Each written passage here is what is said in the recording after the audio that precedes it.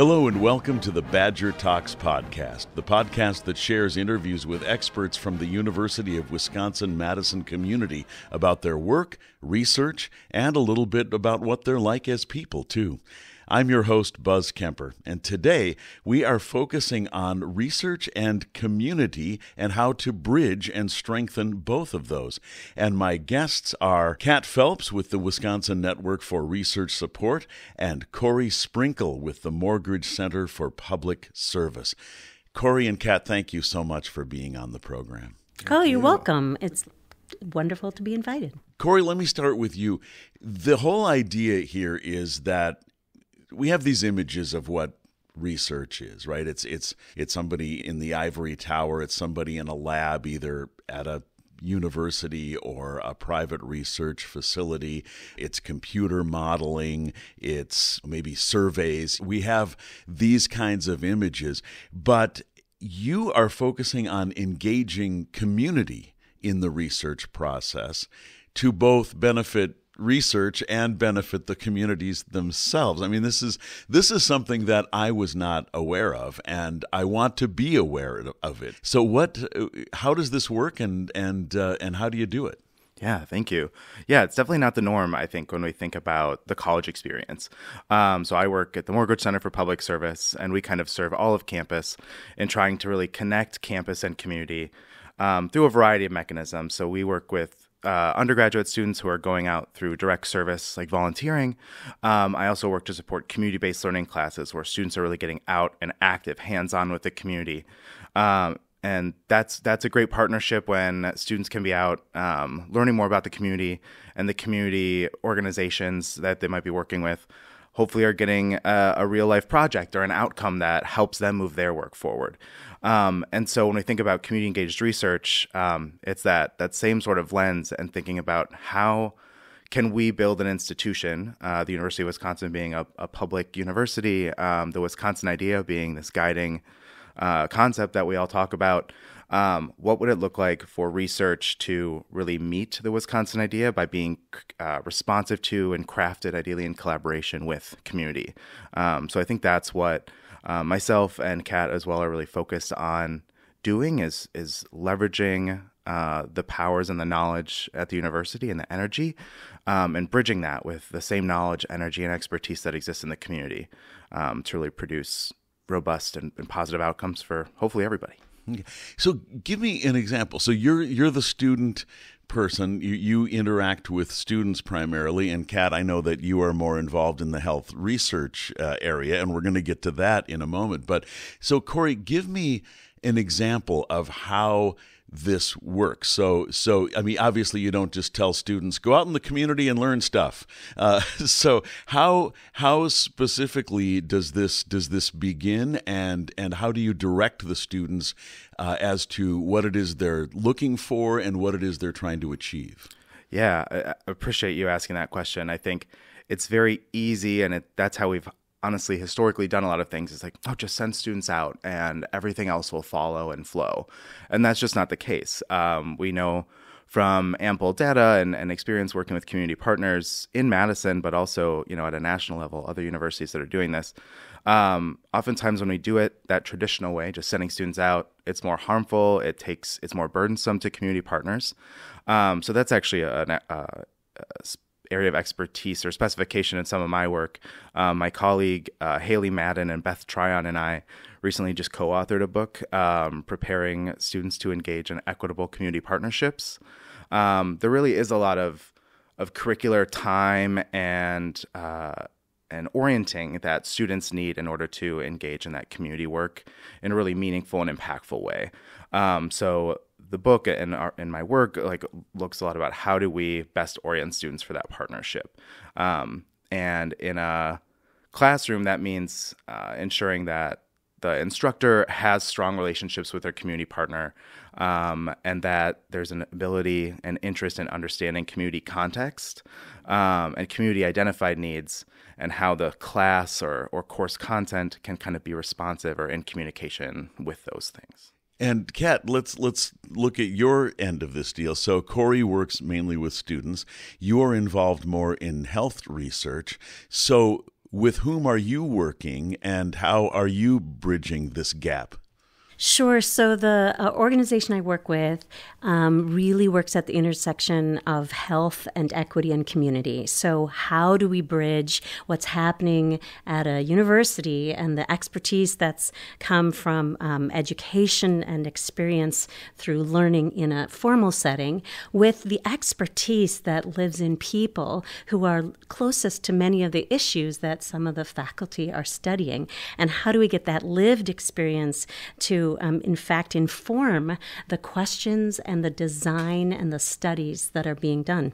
So the work I do is both with community members and with faculty, and finding ways to bring them together in conversation to, um, you know, as I've said, bridge that lived experience with that. Um, academic expertise. Can you give us an example of an, an, instance where you've done this and you the the process was X and the result was was was Y? Sure. Just um, uh, last week, um, I drove up with my colleague to um, Forest County, where uh, a person who's a cardiologist here at UW, Anupama Joseph, is working with um, Potawatomi Tribal Council to identify ways to strengthen strengthen heart health.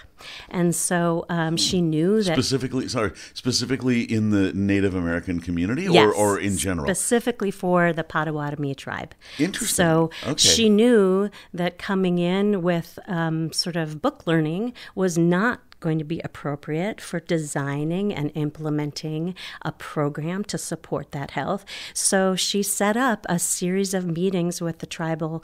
Um, Uh, people identified as having either heart issues themselves or family members and some elders of the tribe to talk about what makes sense to you as a project, a program, something we can both implement within the community, but also in the clinic that's there to support heart health. And um, all of us learned that even the way we set up the first meeting was needed to dramatically change to be responsive to the culture, the um, traditions, and the the way that we need to listen and be culturally um, have humility to stop what we originally planned and just absorb what they had to offer. And it was powerful and a really exciting program is going to come out of it.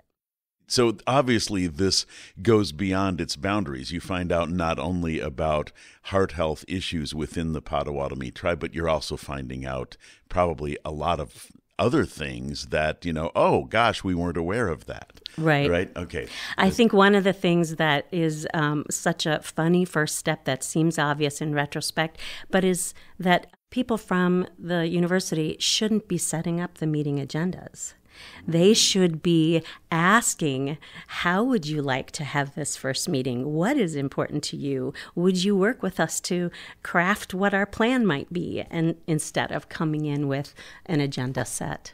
Yeah, I, I to, yeah, I totally get that. That makes that makes sense. Let them kind of lead the the direction because they may have a direction in which they want to go.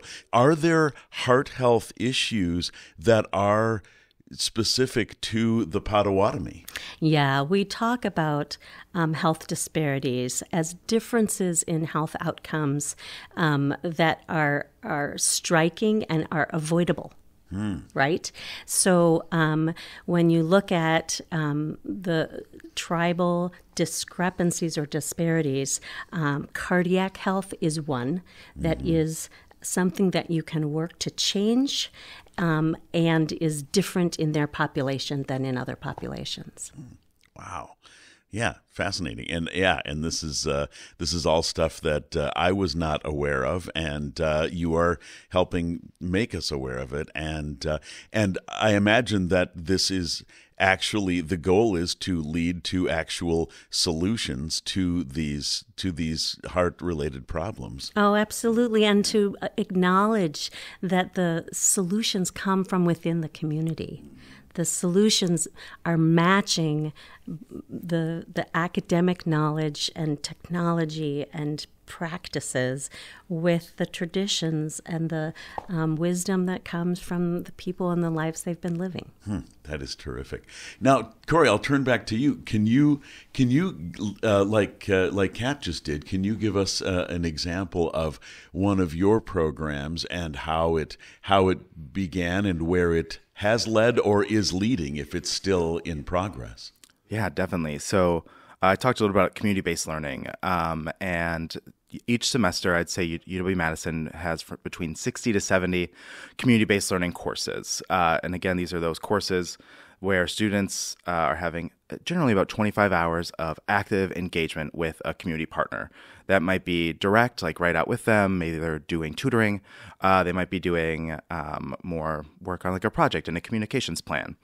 I oversee a group of students uh, that we call community based learning interns um, who get to consult with some of those classes and kind of provide curricular support, uh, teaching support um, in a variety of ways, kind of connected to that orientation piece, orienting students to community engagement and, and what that learning experience is and how it's different than the traditional lecture style, um, maybe more passive learning that is um, a common trope of, of higher education.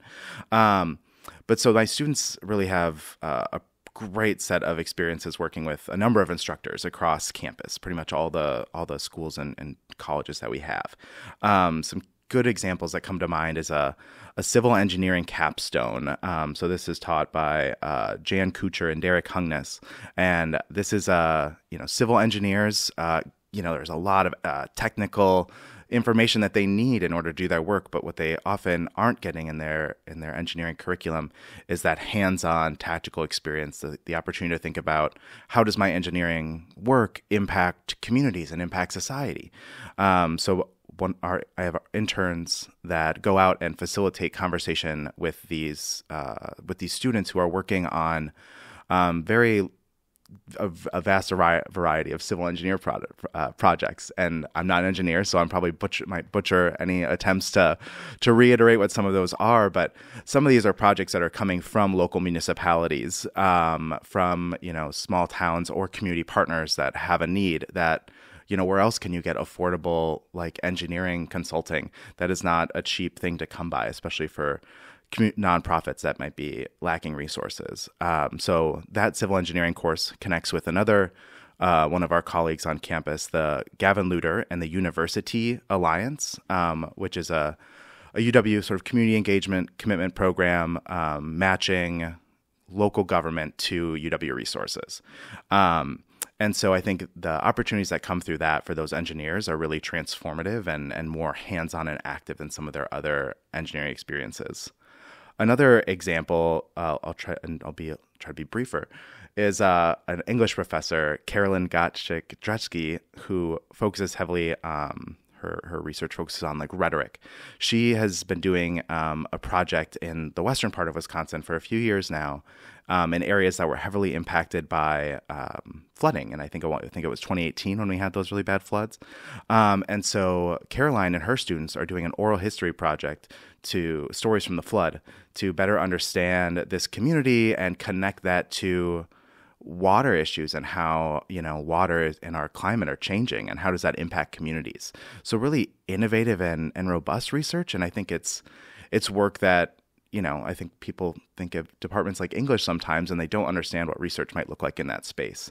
Um, but this really hands-on um, engaged work that can be possible when we make the resource of the university available and in communication with our communities. Okay. Th- th- thank you both for those examples. So it's, I think, a little bit um, uh, opaque for people to try to imagine how does research, you know, community based research, you know, how does that actually manifest itself and what are the results? But then when you say, well, when you've got civil engineers, you know, designing a community, maybe talk to the people who live there. That is so, that is so eminently just logical and sensible. Um, I absolutely love it and help, you know, help the, the Potawatomi with, uh, with, with heart related issues. That's uh, absolutely amazing. How did, this idea again it seems so so completely logical and sensible that of course we would do this but it hasn't always been done. Um, and so how and i'll let either one of you tackle this but how did this come about specifically at uw Sure, I'll give it a I'll give it a go. all right cory it's, Um, it's you you're in you, you're in the hot seat I'm thinking a lot about colleagues on campus um, who do great work. So Kacie Lucchini Butcher with the Center for Campus History um, has really been exploring UW's history and um, maybe parts of our history that we've swept under the rug or are more uncomfortable to talk about. Um, so, you know, going back to University of Wisconsin's founding, and don't get me wrong, I love this institution, but we're founded on stolen indigenous land. Madison is uh, on Ho Chunk territory. Um, and so, you know, when you look at those roots, recognizing that uh, creating this institution required pu- literally pushing people out and driving them from their homes, um, and thinking about how that has occurred for other communities. So, um, not a UW Madison example, but you know, f- your listeners might be familiar with the Tuskegee syphilis experiment um, and these other um, r- relationships with uh, between communities and researchers that have historically been really harmful um, and that have led to a lot of distrust. And I think we look at the the environment around higher education now um, and around you know media, and there's a lot of distrust. Um, and and I think y- universities and research institutions have to look at what role they've played in contributing to that that distrust and, and seeking to remedy it.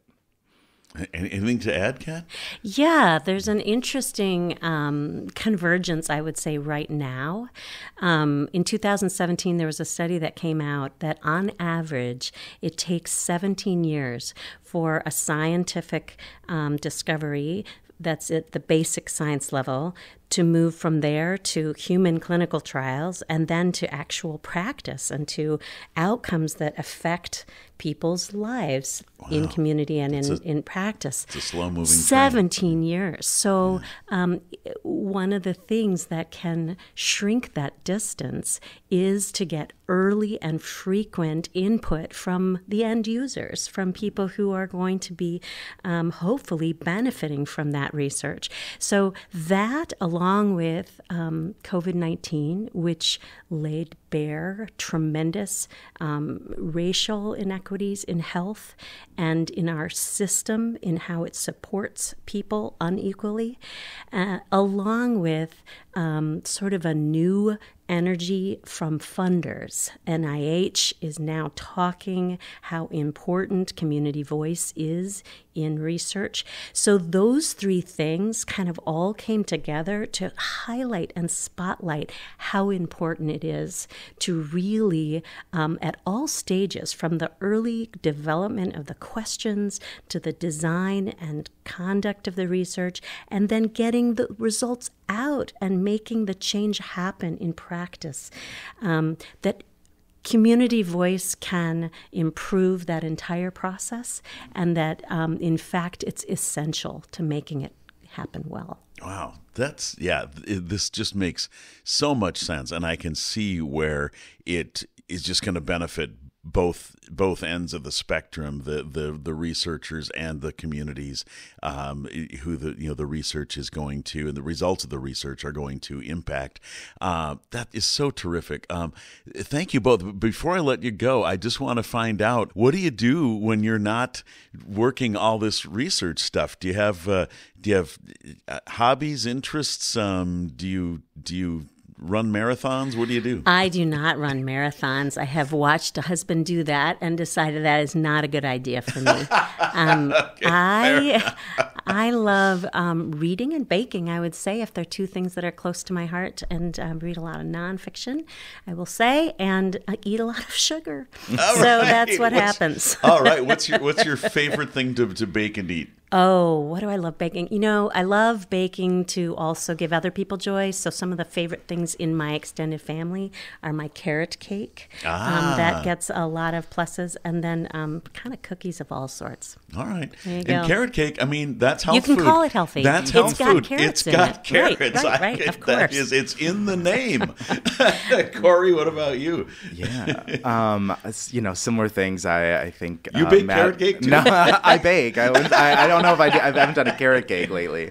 Um, I'd love some of yours, Kat. Mm-hmm. Um, I yeah, I love uh, Madison. So I like to be out like in the food scene. Um, it's restaurant week right now, so went out for lunch with some coworkers yesterday, um, and out, uh, also am a organizer with LGBT Books to Prisoners um, in, in here in Madison. Um, so that takes up some of my time. Um, and really just yeah being out out in, in nature live near the arboretum as well and, and that's always a good Yeah, a we've good run place. into each other in the arboretum. Yeah. That's a happy coincidence. Yeah, I, I, I live nearby too, and I make uh, make good uh, good use of it. Is there anything that you feel like is important to to be said about this this community based research? And perhaps I haven't asked the right question. well, definitely something I want to plug, um, and Kat will have to chime in as well. Um, uh, so an effort that we've been working on. Uh, so last year, uh, my colleagues and I in the Morgridge Center, as well with, with colleagues across campus, um, kicked off our, our inaugural what we're what we've deemed the Wisconsin Idea Conference, um, which is really just an opportunity to to bring these same discussions that we're having now, th- those stakeholders together. Um, it is uh, open to the public, um, free to the public, um, and really intended to bring community and researchers together to think through how we improve partnerships, lessons learned, um, really practical skills and, and, and partnerships. So that takes place um, April 9th. Um, but we've also expanded beyond just the one day conference to uh, Wisconsin Idea Week, which will include a, a variety of events um, from campus partners like the um, School of Human Ecology's commu- Center for Community and Nonprofit Studies. Um, we'll be doing uh, uh, These names get kind of cumbersome. I know UW and their acronyms. Um, Right, right, exactly. Listeners, bear with me. Um, but that that con- uh, their their civil civic health of Wisconsin conference um, will also be taking place that week, as well as um, other events from the Center for Healthy Minds. Um, I believe the uh, a mapping unit in the in the Center for Geography um, is doing something as well. Um, and then Kat is is really working together with her community advisory boards. Sure. So there are um, over a dozen advisory boards affiliated with UW. So they they advise in all sorts of arenas. But um, members from those different boards are planning out two events. One is a um, mixer at the South Madison Partnership on the morning after the full day Wisconsin Idea Conference, and it's just to have uh, researchers and advisory board members learn about what they do. So many researchers don't even know of the standing advisory board members they may have access to. Um, so to bridge that, and then also on Saturday there's a just for community party that is happening. Um, uh, we are, are deciding between the public library and Warner Park Community Center, so to be determined. But um, when you, when you say Saturday, do you mean this Saturday? I mean the 13th, so April Okay, okay. 13th, 'Cause I- sorry, okay, okay, following the. Conference. Great, okay, good. Um, and th- there's one sort of closing um, remark I'd like to make, which was a powerful conversation I just had with somebody um, named Yinka Shambola. And she was saying that um, when she wanted to work with a specific community, and it wasn't a community she had a strong relationship with, she um, went to them and asked, What can I do for you? Um, and they said, Well, we'd really like a talk on this. And so she did that talk. And then a month later, she went and said, What can I do for you? She said, Well, we'd really like to learn more about this. It wasn't something she knew about. So she had to do some research to come back. She went back and what can I do for you? And her research team said, Well, are you going to be asking them about our project um, when you go this time? And her answer was, Not yet. And the point of that is that creating relationship before there is any ask is such a good practice. And we're not used to it because we're so excited about our studies.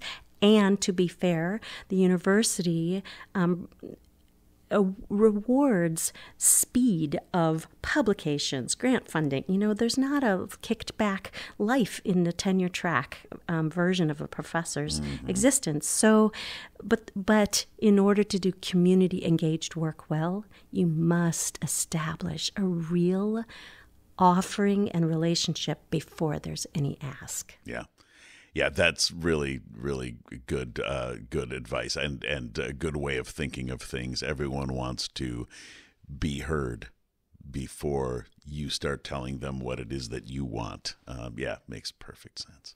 One little addition I'll add too is that um, you know Kat spoke well to the to the the role that researchers have to play in that in that side of the relationship. I think as a whole, as an institution, we also need to get better at being accessible to community who have great, rich research questions and and immense amounts of data that that go untapped. Um, and so, you know, to any community partners or or you know in, invested citizens that are listening to this podcast, you know, feel free to to find to reach out to places I think like this the Morgridge Center for Public Service. We're really well poised to to do what we can to connect um, community members to all the resources on campus, and really in that way that Kat emphasized, hoping that relationships come first, and then the the robust partnerships will will fall into place after. Yeah, this it really seems like a, just a terrific idea, and as I said earlier, just eminently sensible and logical, and uh, and I can see where this is going to lead to, and has led to, really pract- good practical results that are are genuinely helpful to humans in their communities. Um, terrific stuff. Uh, Kat Phelps with the Wisconsin Network for Research Support and Cory Sprinkel with the Morgridge Center for Public Service. Thank you so much uh, for appearing. I've I've learned a lot from this. What a treat! You're welcome and thanks. Thank you. Wes. You've been listening to the Badger Talks podcast. I hope you enjoyed this conversation with Cory Sprinkel and Kat Phelps. Please browse our previous episodes for other topics that may be of interest to you. The Badger Talks podcast is a creation of UW Connects and produced at Audio for the Arts Recording Studios in Madison, Wisconsin. I'm Buzz Kemper. Thank you for listening.